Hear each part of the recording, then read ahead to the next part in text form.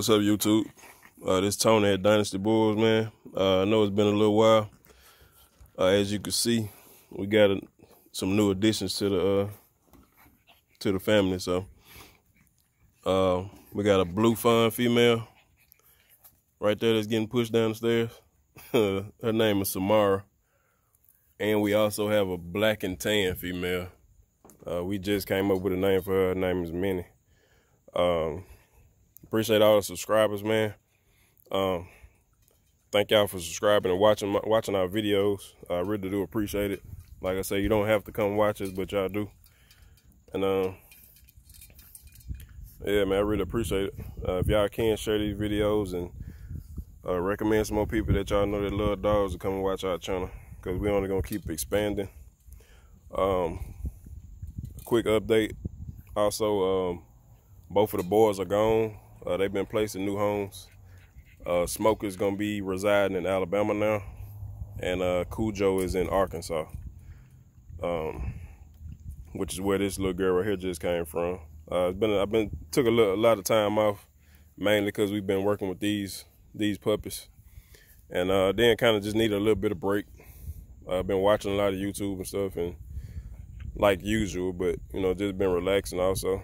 Um, so I decided I need to go ahead and give y'all an update on what, what, we got going on so far. Uh, that's been going actually been going on, you know, for a couple weeks now. Uh, we picked up Samara beginning of September, and um, we just picked up Minnie uh, maybe about what two weeks ago.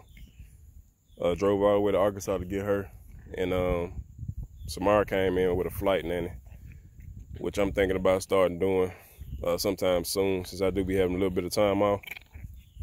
Or probably gonna do it for our purpose at least. Uh, if if uh, if Spice did take, so uh, I'll be having an update video when we go get her ultrasound and see if she if she took. That should be in the next couple weeks, if not uh next week. I think she around she almost day maybe day 30 around day around day 30 or coming up on it something like that.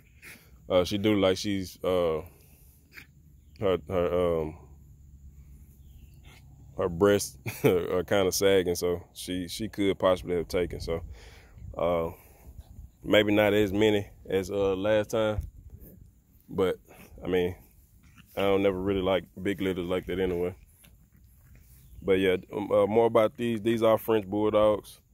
Uh, we're gonna keep keep it French bulldog. I'm not gonna be mixing breeds or anything like that. I feel like our bullies are small enough already, and then I don't. There's really no point of cross, you know, crossing up another breed just to, you know, do something. Uh, I feel like a breed should be what it is, so I'm not really with that uh, mixing of mixing of breeds. Which I mean, if, if that's what people do, I mean, to each their own. That's what they do. But we're gonna keep it strictly French bulldogs. We're gonna bring some colors in, since this is already established breed.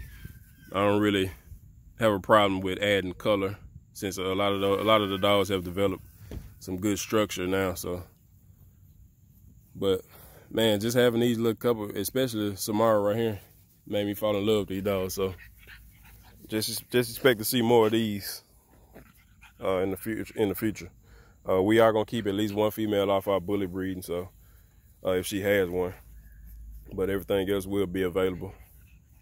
Um, like I say, man, we love like house dog, apartment dog. This is why we like the little micro bull. So these gonna be perfect. gonna fit in just as perfect. So, uh, like I say, man, I appreciate y'all for watching. Uh, if y'all stuck stuck to the end, man, I really appreciate y'all. Leave a like on the video, and uh, if you ain't subscribed, go ahead and subscribe.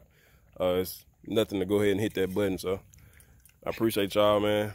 Y'all have a blessing.